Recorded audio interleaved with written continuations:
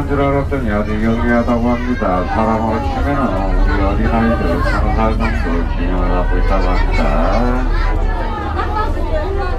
왜 친구 똑바로 앉으세요. 똑바로 앉아요.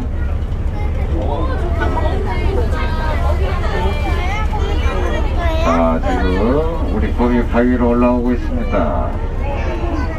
자 올라와서 똑바로 앉아. 똑바로 앉으라고 했어. 뭐 하는 거냐? 똑바로 안 앉고. 어? 앉았습니다.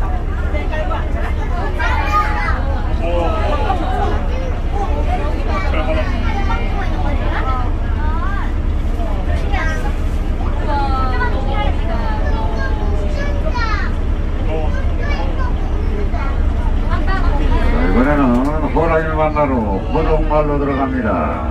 그렇지 안녕 이제 안녕 엄청 크다.